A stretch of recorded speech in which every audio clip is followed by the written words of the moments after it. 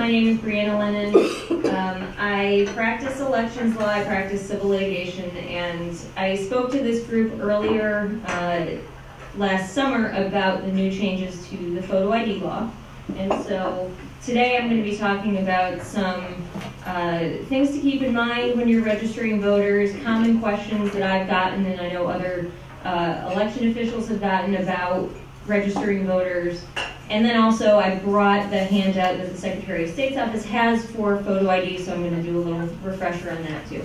Uh, but I would like for this to be as much question and answer as possible because there are usually um, a lot of you know small questions that people have about you know I want to have a voter registration drive. What should I do? I don't want to you know come afoul of any of the state statutes, and there are some that are a little tricky. So.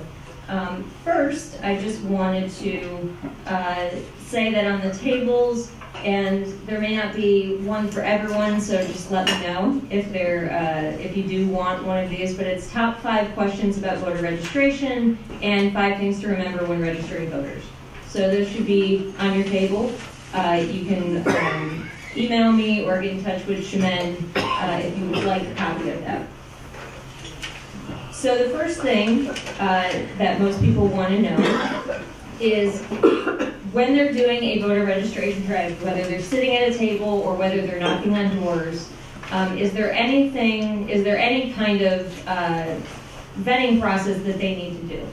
Um, if you look at the voter registration application, I don't have it on the on the table, but the, the general voter registration application can be obtained at the county clerk's office or uh, online at the Secretary of State's website and printed off. The first questions are, are you a citizen of the United States? Will you be 18 years of age on or before election day? Both of those have to be checked, yes. It's not your responsibility as somebody that's registering voters to make somebody check yes or not you are supposed to provide this form to them or direct them to this form and uh, let them fill it out accordingly. Uh, it does have a big thing on it that says this is under penalty of perjury if you lie for either of these questions because those are uh, Missouri constitutional requirements for you to be able to vote. You have to be a Missouri resident, a U.S. citizen, and 18 years of age by election day. Uh, so those are the big things. There's nothing um, that allows you to really vet anybody. You can't go out and say, we're only registering Democrats today, or we're only registering, you know, it has to be open to everybody. It has to be inclusive and uh, very nonpartisan in the way that voter registration is conducted. So that's that's the first thing that I like to tell people when they're um, thinking about doing a voter registration drive. Uh, the second thing is, and this is the really important one, if you are giving a voter registration card to somebody and then you are accepting it back, you have to send it to the county clerk's office within seven days. I always recommend that you have to that you do that by um, setting a calendar deadline or appointing one person in, in your group to do that, and by bringing them in person to the county clerk's office. There's uh, postmark deadlines and things like that that you can abide by. It has to be sent in a certain time. Um, but especially if you're in an area in Boone County that's close to Columbia, I always play it safe and just bring the voter registration cards directly to the county clerk's office so that they can't be lost. Um, sometimes too, if you know you're going to be doing a very large voter registration drive and then collecting them back, uh, both the Secretary of State's office and, and sometimes the county clerk will make uh, a note that you have a large portion of them so that uh, if they have any questions for you after you bring them back, um, they can kind of keep track of those. The third thing that uh, that's important, along with that seven-day requirement, if you are being paid or compensated for soliciting voter registration cards, that usually does not come into play if you are sitting at, you know, a Missouri Democrat table or a Muleskinner's table, uh, because those are volunteer things. But if you work for a nonprofit or you work for a business, and the business or the nonprofit that you work for decides to have a voter registration booth somewhere, um, and it's on company time, then uh, you have to register with the Secretary of State's office as a voter registration solicitor. It's a very easy form. It's on the Secretary of State's website. It just, it literally says your name and your address. It's the same if you've ever circulated a petition before and uh, prior to 2016 had to fill out a circulator information form. It just is an accountability and tracking measure. You don't have to pay any money. You don't have to get any official designation or have it notarized. It's just so that people know if you're a paid voter registration solicitor, um, somebody in the Secretary of State's office can contact you if, for whatever reason, somebody calls and complains about something that happens. Be mindful of voter registration deadlines. That's really important as well. In addition to that seven-day requirement, keep in mind that voter registration deadlines are always the fourth Wednesday before the election.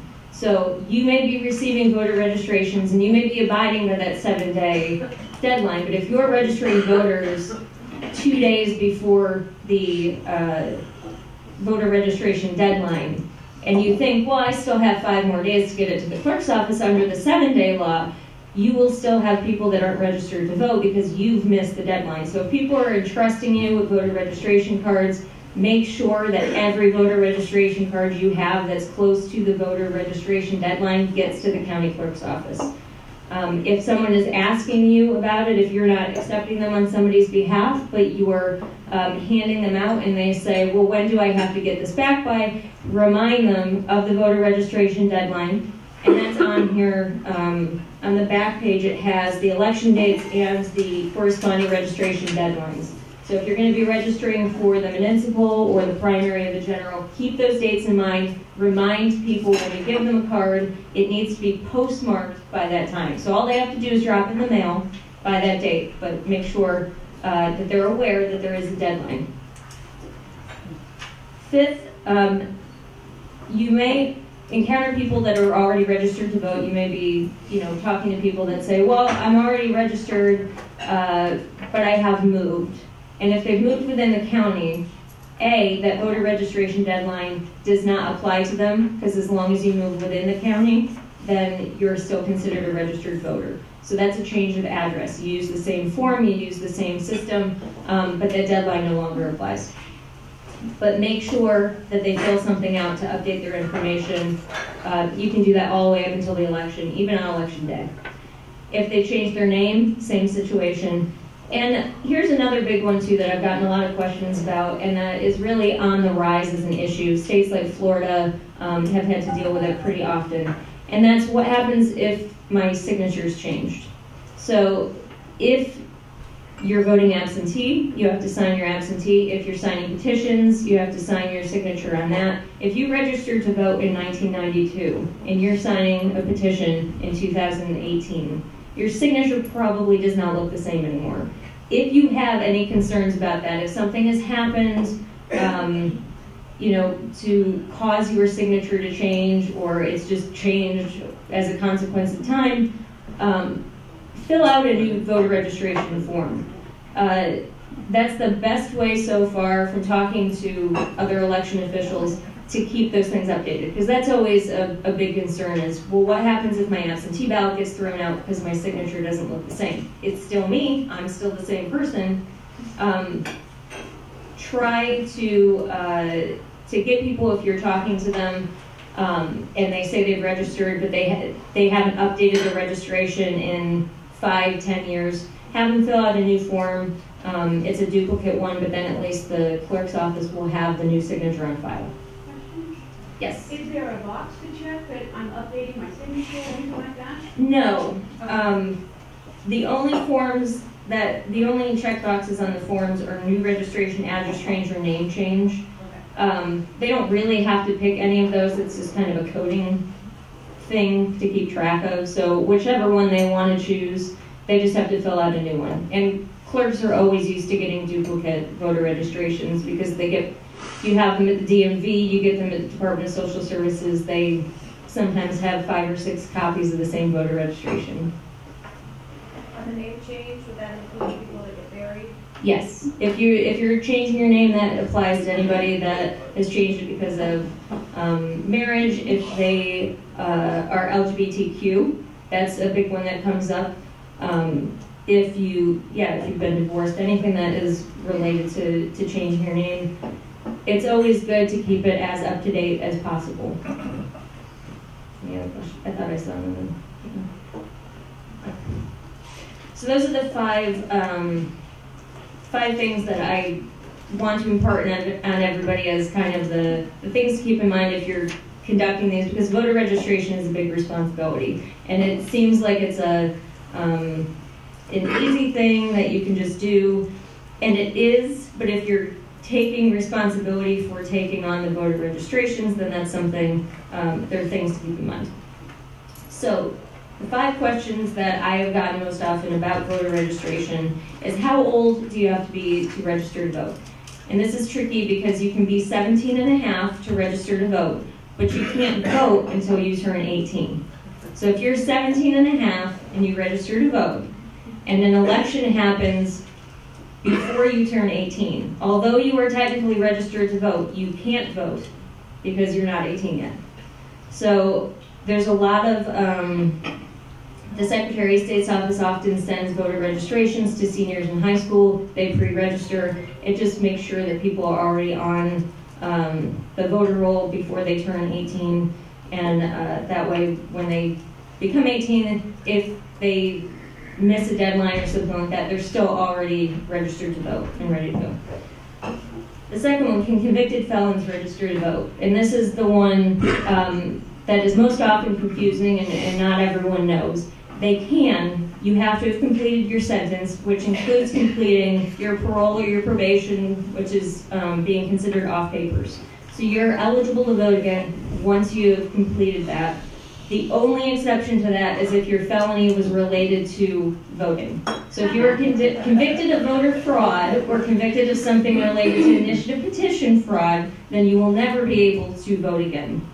Um, but you you can if you have a different kind of felony. Um, once you come off of that, I always encourage people to, uh, if they're unsure if they're reinstated or not, either call the clerk's office, fill out your new voter registration. They don't technically have to, but it's um, it's always good just to make sure because I used to get calls on election day where people would say, "Well, I'm not, I'm not a felon anymore, but I'm not on the poll register either. So what's going on?" And sometimes it's because of the date and you've gone inactive, and so you don't show up on the voter um, poll book anymore. Um, so if you encounter anyone that has any doubt, have them fill out any voter registration form. Can college students register to vote? That's particularly um, specific to Columbia. Yes, you can register to vote at your place of residence. Missouri's law is based on what you consider your residence to be. So if you consider your college address your place of residence, you can register at that address. Um, the other nice thing, because Missouri has a full statewide voter registration database, if you are registered to vote in St. Louis County and you go to Columbia College and you register to vote in Boone County, St. Louis County will get the flag that you've registered to vote in Boone County, and so you will not be double registered. That's one of the advantages of having a statewide system. Um, so that's that's good to know. If anybody ever asks, you know, well, do I have to call and cancel? Yes. If they're from another state. If they're from another state, there are some um, data matching things that the state engages in that tries to do that, uh, but it's not automatic like it is for within the state. So if there are concerns, they can call their local election authority in the other state and go through the process of deregistering there if they want to. Yes. What if uh, you're talking to a college student and they're not sure where they want to vote? Well, that will depend on where they consider their residence to be. So, I mean, if they're like from Louisiana and they're going to school at Lincoln University, do then I say to them, well, you're gonna need to choose before you register to vote? Yes. Or- Right. Yes, if you, if somebody says, I don't really know where I want to register to vote, you can tell them that the law here is based on residency. So wherever they consider themselves a resident of. So if they're from Louisiana and they live in Jefferson City and they say, well, I consider Louisiana to be my permanent address, that's where, you know, I care about issues and that's, you know, I have an address there, I still get mail there and things like that, then that would mean that they are not eligible to register to vote in Missouri. So they just need to make up their mind. They can't be Yes. registered to vote in both places and decide on election day No. where they're gonna vote. Yeah, Right. no, they have to be, because you can't have dual residences under Missouri election Right. law. Yes. But a college kid could, like if they're like a senior who graduates in May, could vote, they could be registered to vote in Columbia because they consider Columbia their primary address until they graduate, and then they graduate and they move back home to their permanent address and they're not gonna be in Columbia anymore. They can switch Yes. for So like an August primary and they can re-register back at home. Yes, so some states have a residency time requirement, Missouri does not. Um, so if they are from out of state, it may be something that they want to look into. Um, because if they do, if they're registered in Missouri and then they leave in May and they go back home and their home state is not Missouri, uh, they may want to look into whether there's a residency uh, timing issue. But in Missouri, yes, you can register to vote in Columbia in May, move two months later and register to vote in your new residence. Um, and like I said, because of the voter registration database, it'll cancel out the Boone one. So wherever you're moving in Missouri, you will only ever have one uh, voter registration. Yes. It's my understanding that it's not illegal to be registered in two places, it is illegal to vote in two places, is that correct? Yes, because there isn't a way to verify all the time that you're in both. But if you're claiming that you have Missouri residency and you don't, that that is a problem. Yes. Is there a process that the, that someone would have to go through to claim Missouri residency? No. Um, resi- residency is where you where you reside. Um, it's a subjective.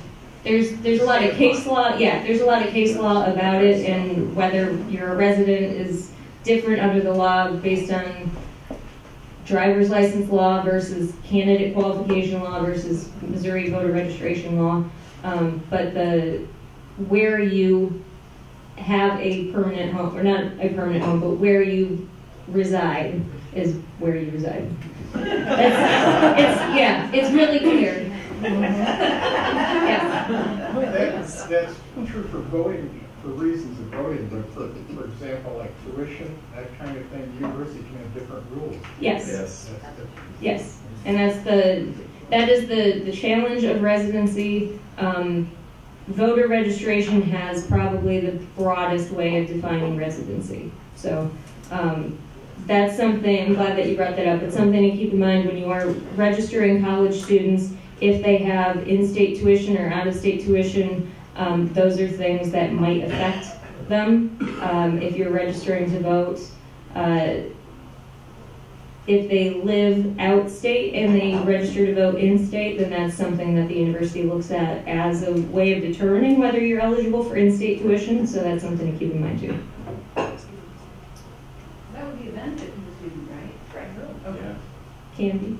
It's not sufficient. If they want, if they want in-state.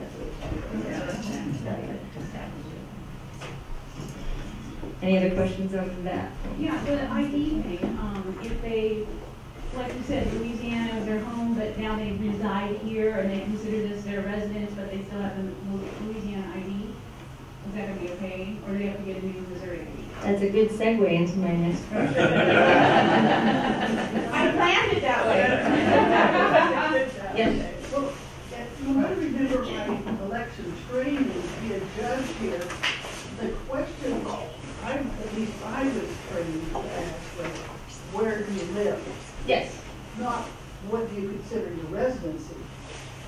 So, I mean, to- to me, to to make it clear to people, I'd say, so where, where do you go to bed at night? But what you're saying is, that's not really right, that they might consider their home as the primary residence, because that's where they get the mail or something. It's, yes, I mean, if you're, if you're saying, where do you live? A college student that, you know, lives at home over the summer may consider that their residency. Yeah. And that's why college students can be registered in St. Louis County and be going to school in Columbia. So So- I think, I think the question I was trained to ask probably wasn't quite accurate. Well, it's not, it's, because it's so subjective for, um, college students and military, the two times it comes up. Um, for the vast majority of people, yeah, where do I live is, is the clearest way of asking, but it's not technically encompassing everything that goes along with residency.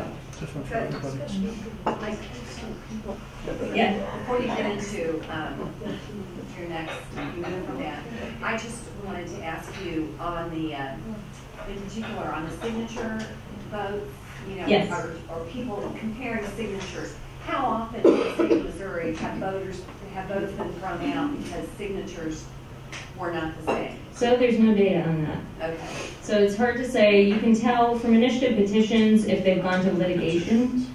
Um, you can tell, and if you ever sunshine the Secretary of State's office to know how many signatures were thrown out versus how many were counted, then you can find out how many those were.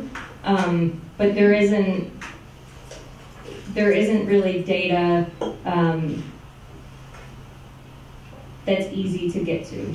There's a, there's a survey, there's an EAC survey that the state is required to fill out at a very high level of how many total absentee ballots that come in. Um, and all of the clerks in the, in the state fill out surveys that have that information on it. So they say, how many absentee ballots did you get and how many did you count? And sometimes they keep track of why they didn't count and sometimes they don't. And so it's not always 100% positive. And sometimes they're thrown out because there's no signature at all. Um, so if there isn't anything that drills down to the level of saying, I don't think this was the same person. That's what I'm trying to get at, is this a legitimate fear or concern, especially with people as they get older, you know? I notice even my signature Yeah. sometimes is not. So it's, it's something that kind of goes around election circles. So Florida's got a um, proposed piece of legislation that requires uh, supervisors of elections to get updated signatures from folks because that they feel it's a, it's a concern. It's something that hasn't really been talked about in Missouri. Um, but I have gotten the question occasionally, especially for um, um, people that are, you know, going out to nursing homes and things like that. Yes. This only applies to write-in ballots, right? Because I'm thinking, you know, on the iPads, most, I'd say ninety-nine percent of the people who sign those iPads do not have signatures that match what they have. Yes, yeah, when they're checking signatures, what they check them for is the absentee ballot, the initiative petition, and then under this new law, there's a new kind of provisional ballot um, for photo ID, and that is a signature verification as well. Okay, so you would have to sign that one the same way you signed it before. You're, yes, yeah. Um, yes. Is election fraud an issue in Missouri? No. For photo ID, no. Not gonna say for photo ID, Republicans claim it's widespread and therefore they need legislation to restrict people voting. I have not seen any evidence of widespread voter fraud. We'll focus. Alright, photo ID law. So it changed in uh, 2017, took effect in 2017. So, so far there's only been a few elections it's been in effect for. Um, and I will say, so the Secretary of State's uh, documents that spell out what it is are very clear. Because what it basically did was create three tiers of uh, photo identification um, that you need to show when you come to the polls. So the one, the, the way that the law is written, the one that you can show 100% of the time, have no problems with, get a regular ballot with, um, is a government issued photo ID. So if you have a Missouri driver's license, a non-driver's license, a military ID, a passport, um, any of those things that are considered traditional photo IDs, that's just a regular, I show up with an ID. Um, the second tier is everything that used to count as an ID in the regular law um, with the addition of having to sign a statement that says, under penalty of perjury, I do not have a photo ID. So that includes things like voter registration cards, um, the ID cards that you get from the clerk's office when they're verifying and canvassing you. IDs from universities and colleges, vocational schools, the utility bills, the bank statements, the things that, um, government checks, things that are considered other government documents that have your name and address on them.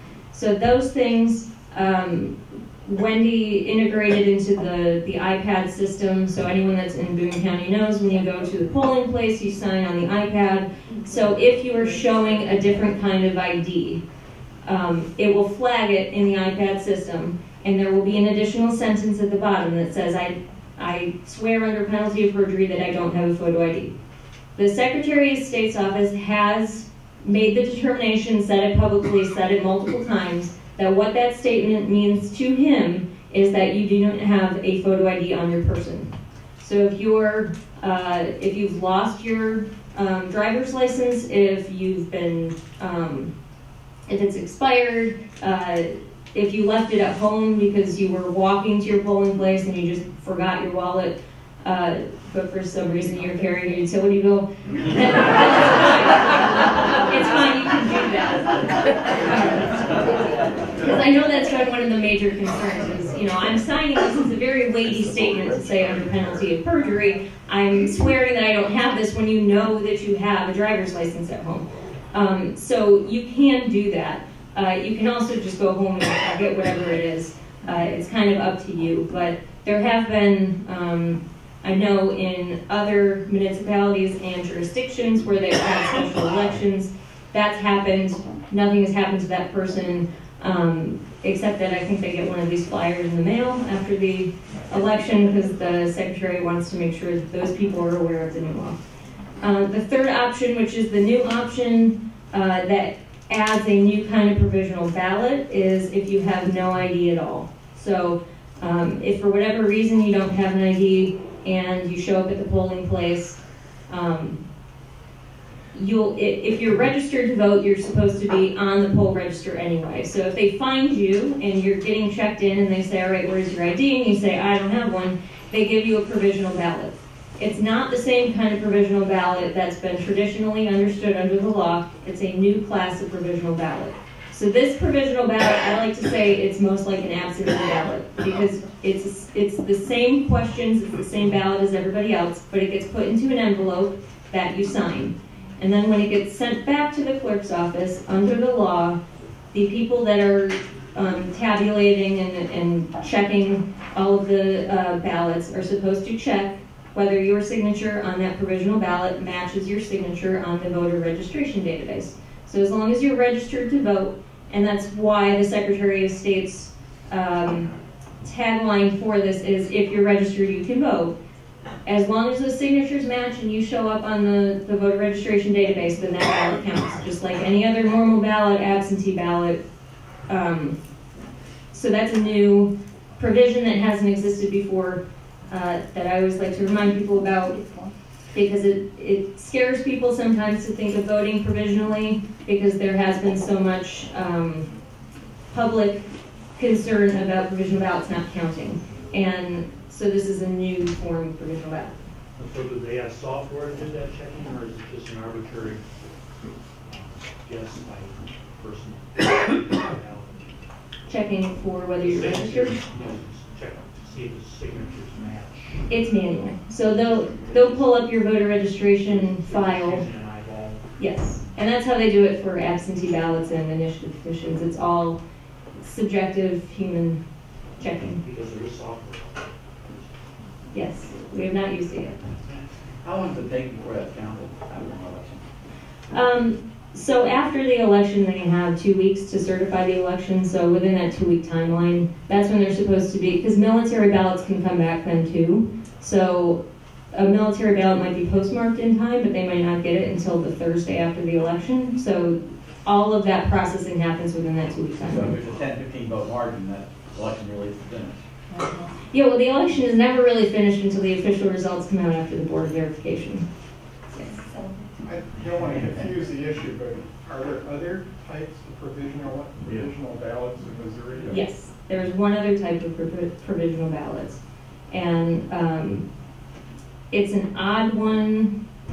I don't want to go into it too much because it is very confusing because there's a weird catch 22 where you vote provisionally if you um, think that you're registered. Right. And then if you go back and see that you aren't registered, then your ballot doesn't count. So it's kind of like, it's almost like a nuisance Um, provisional ballot because you're getting it because you don't count, so it doesn't count, but you got it anyway. So that- That's why I try to remind people, this is not the provisional ballot that people think of when they're thinking of these, you know, well, somebody gave me this and I know it's not gonna count. These ones are totally different. So if you're getting a provisional ballot based on not having an ID, it is, under the law, supposed to be processed and counted, as long as you're registered to vote. So, back to your question about what the ID has to have on it. So, if you um, think about when you go to the polling place, the uh, election judge is supposed to ask you to confirm your address. So, you confirm your address, it doesn't matter what's on your um, ID for that, because you have to verbally, well, you don't have to verbally confirm it, but you're supposed to confirm what it is. Otherwise, people that moved within the county would have problems too, because everybody would have to keep their driver's license as updated as possible, and we all know that's impractical sometimes. It does have to match what's on the registration Which- And What they say is their Yes, address. what you say is your address has to be what's on the voter, um, the voter. Not on your driver's license. Yeah, on the, on the precinct roster, when you walk in, that you have to have the right address on there. But you can, up until that point, if you moved within the county, you can change your address right then. Um, so for anybody that's concerned, if they move the day before the election down the street, uh, it may change where your polling place is, so you might still want to call the county clerk and say, you know, has this changed where my polling place is? But in terms of, uh, updating your voter registration, you're not disqualified just because you moved a day before. Yeah. And um, would you clarify for folks in the room that when you um, are confirming your address and your name, that you do not have to say that verbally out loud for the entire room? Yes, it does not have to be verbally confirmed. You know they're gonna ask you verbally, they're gonna say, what's your address? You can ask to see it on the paper and confirm it. that Yeah. And that was one of the, um, that's often a question because there's, um, there's a safe at home program that, uh, a lot of voters that are victims of domestic violence or, um, for, you know, have a stalker or something like that, have opted into this program so that their address is confidential. Uh, this is to, it, the verbal requirement is often easy and it's easy for election judges to remember, but it is not required. You don't have to say your address out loud. I just show my ID with the address, I point to the address on that ID, because I don't like to say it out loud. That's a good way to do it too. If your address is the same on your ID, you can just say this, this is what it is. Let's see. And kind of already went over it, but the deadlines, um, the thing to keep in mind is the fourth Wednesday before the election is the deadline if you're a new registered voter. Um, Will you give out the, uh, uh, I don't have the sheet in front of me. Will you just say verbally when the next I can, yes. So if you are uh, interested in voting in the April election, that that is on April 3rd, which makes the registration deadline March 7th. So if uh, somebody is moving in from out of state, that's a new registration. If they have never registered to vote before, that's a new registration. They have until March 7th. If you're accepting uh, voter registrations on behalf of, of somebody else, I, I usually say get everything that you have the day before to them, just to make sure that nothing is, uh, nothing is out of place. And, um, we've had situations, when I was in the Secretary of State's office, we had situations where outside organizations would provide these large packets to the Secretary of State's office. That's another thing don't send anything to the Secretary of State's office. They have no authority to register you to vote. The only thing that will happen is they'll put it in an envelope and then send it to your county clerk. and that will delay when you get your registration processed. Um, so make sure that everybody knows if you're handing it to somebody and they're going to mail it themselves, or if you're going to bring it out somewhere, do not send it to the Secretary of State's office. They do not have registration authority. Yes. If you are a resident of Boone County, but you want to have a voter drive in like Callaway County, do you need to get different, uh, registration forms, or are they all the same? Um, they're technically all the same, but some county clerks like to, uh, you know, they put coding on them or things like that for their own system. Um, so if you're going to go to a different county register, I always think it's good practice to just give the clerk a heads up and say, you know, I'm going to be in your area. I'm not from your area, but is there anything specific that I should know? Because they may have um, little things that would make your life easier that you might not know about. Um, oh, the other, speaking of that, the other thing I wanted to point out is there is online voter registration. There's a form on the Secretary of State's website that you can fill out uh, if you're doing that. Um, the only thing, if people have concerns about their signatures, sometimes that can be a little tricky. Uh, and then Boone County also has a uh, kind that you can use on your iPad if you go to um, use that.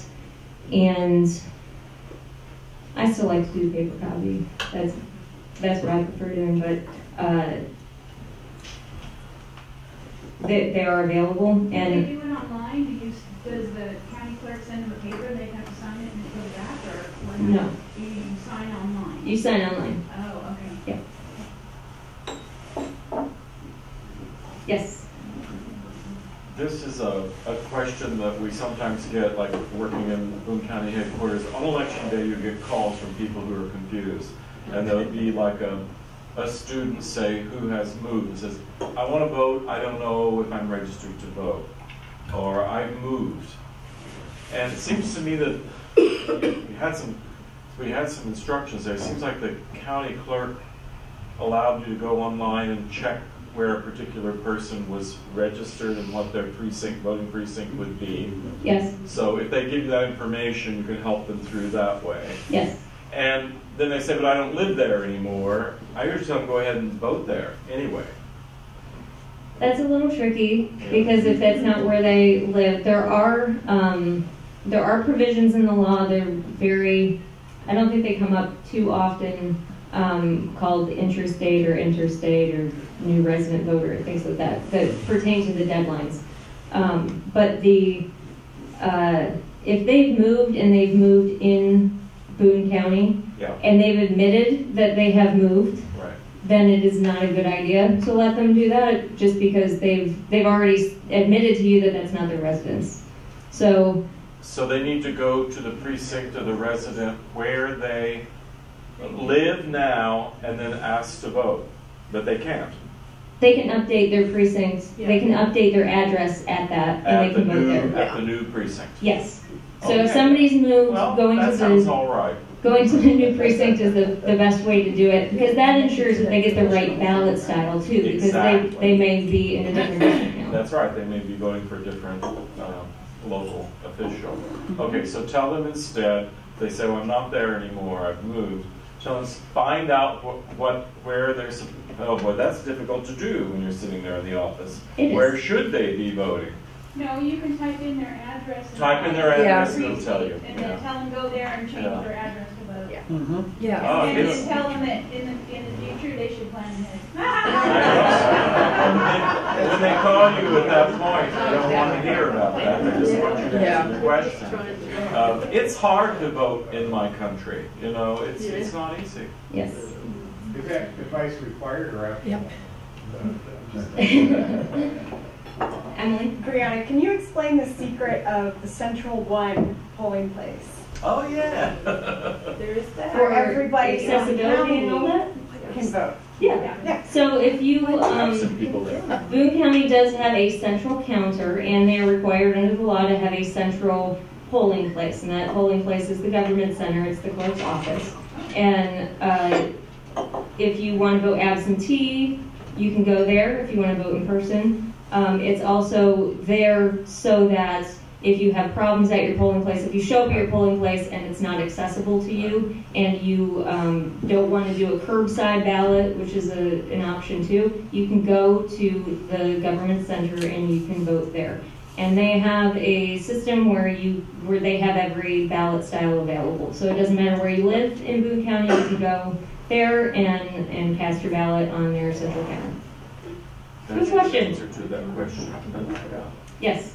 Um, I just wanted to comment that the League of Women Voters has a packet of information for felons about how to get their, be sure that their voting rights are reinstated. So if anybody needs that, we'll be happy to share copies of that. There is a process by which they can get an affidavit when they're released from pro- probation or parole. And then if they take, if they have not previously been registered, but they want to register, they can take that affidavit that shows that they're clean, they're out of the system. So Are those in, documents online? Um, I don't, they're not online via the League of Women Voters, but are you aware of? well, so I will tell you for the state level, they get, um, data matches through DOC. And they're supposed to say who's on and who's off, because otherwise they wouldn't know to take somebody off in the first place. So they are, they are, yeah, right, the taking them off is the tricky part, because they are supposed to do these data matches, every local election authority is supposed to do that, to make sure that they're as up to date as possible on the status of their voters, if they've been marked as a felon. So, um, I am not sure about whether a partic- a particular person's documents are on there, and the Case.net's available, so you can look them up. No, I meant her, the document, the affidavit that they would fill out and mail in. Oh, the- Those are available online. And the packet, so we can download it. we can the legal. I will take that suggestion back to the league. Okay, thank you. Um, and would you just, uh, just in case someone in the room is not aware of what the curbside, um, you? Sure. So if you go to your polling place and you are not able to get into your polling place for whatever reason, um, or if you, for whatever reason that, that you're not able to get in, um, then you can have uh, either somebody that has has driven with you. Most often, somebody drives with you if that's the situation. You can have that person. You can pull up to uh, as close as you can get to the polling place and have somebody go in and tell the election judges that you want to do a curbside ballot. So you do all your check-in, you do um, your actual voting and everything done by election judges that come out to you, and uh, they keep it in the secret blue folder so that they can't look at it either. And you fill it out, and then they bring it in and they put it through the machine. So that's that's an option for people if they um, they want to use that. There's also a permanent absentee list. Yeah. So if you are, um, uh, if you know that you're always going to be absentee because you either live in a nursing home and you have trouble um, getting around, there's a, a number of different requirements that you have to meet. But you can ask to be put on this permanent register, this permanent absentee list, and they will always send you a ballot, no matter what. You don't have to do a new request every election. You will get an absentee ballot uh, for every election once you're signed up for that list. Yes. Now, we're coming here to the end, and, um, you've done an excellent job explaining things, and you have these two pieces of paper that explain things. There's a third piece of paper on here, what's this all about? I, Promote so yourself. while I, while I am an elections attorney and I did work in the Secretary of State's office, I'm also running for Boone County Clerk. So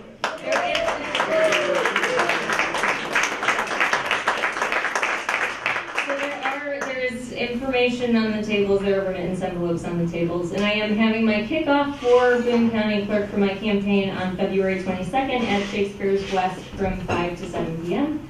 Um, and it would be great to see everybody there. Thank you.